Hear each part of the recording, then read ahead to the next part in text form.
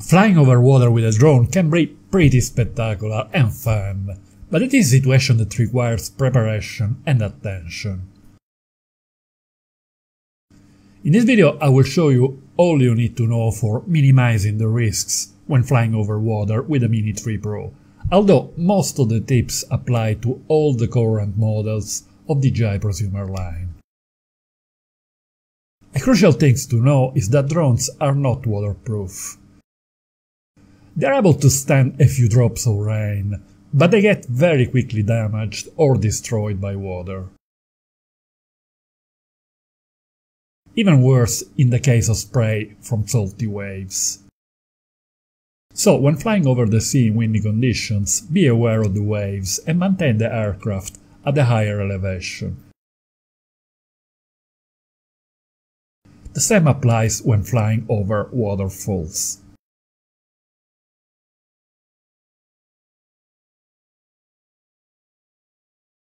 A major unexpected issue is due to the fact that the downward sensors do not work properly over water, as they struggle to analyze reflected surfaces.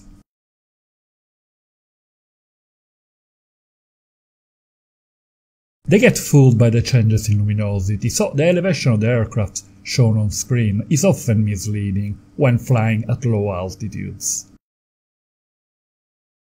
Under these circumstances, you should not rely on the downward sensors to protect from entering the water. Even when simply advancing straight ahead, the drone may raise or descend slightly as it wrongly detects an obstacle at a close distance below. The higher the aircraft flies, the more accurate the reading of the altitude by the downward sensors, as the water is seen more as a solid surface rather than a reflective one. I would suggest to inexperienced users to remain at an altitude of at least 30 meters or 100 feet when flying over water for the first times, especially in case of waves. Instead of immediately flying out over the water, it is better to let the drone hover near the takeoff point until the home point is updated, so that the aircraft can return to the correct position in case of signal loss. It is also a useful test to make sure the aircraft is behaving correctly before flying out. Before flying, it is also a good idea to check the return to home settings. In the safety settings of the DJI Fly app, by going to Advanced Safety Settings, we can select the behavior of the aircraft in case of signal loss. With the options Return to Home, Descend and Hover. The option Descend must absolutely be avoided, as we obviously don't want to land in the water. Hover is a suitable option, in this case the drone will remain static and we can bring it home manually. But in most cases the most suitable option is return to home, as the aircraft will immediately move towards the home point, thus saving precious battery life. In the safety settings it is possible to specify the return to home altitude. In case of loss of signal, the aircraft will ascend to this altitude before making its way to the home point, and then will descend for landing. While flying over water, in most cases the route will be clear of obstacles, like tall trees and buildings, so we can set a low value of around 30 meters, thus saving battery life.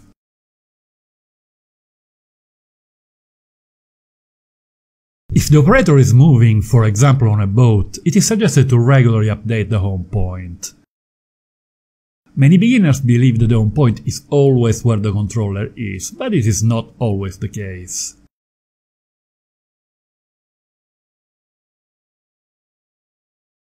The home point is set where the satellites connect after takeoff, in general close to the starting point. But if the operator is moving, the home point will remain in that position, which can be very far at the moment of the return to home. It is always possible to check the position of the home point on the map. It will be shown by a yellow circle around an H. while the position of the remote controller is shown with a blue dot and the aircraft by a triangular shape. It is possible to modify the position of the home point at any time in the tab Safety of the settings by selecting the option Update Home Point. A map appears on the screen with the position of the home point relative to the aircraft and to the controller. It is then possible to drag the yellow circle on the map to move the home point manually, or else it can be automatically updated to the position of the aircraft or the position of the controller by tapping on the two icons on the right. Taking off from a moving boat is a very advanced operation, to be done only by very experienced users. It is, it is crucial to be able to take off and land from a hand.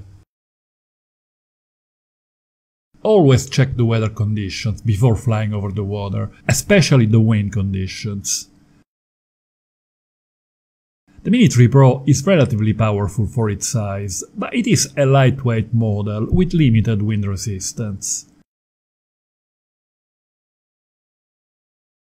Windy conditions over water are even more dangerous because of the possibility of spraying from big waves.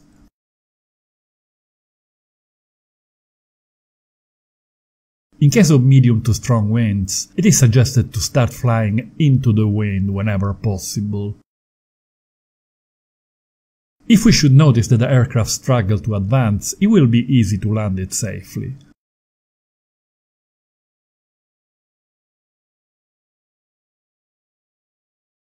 While if the drone starts off flying with the wind behind, it will quickly get very far away and it might be impossible to bring it back into the wind.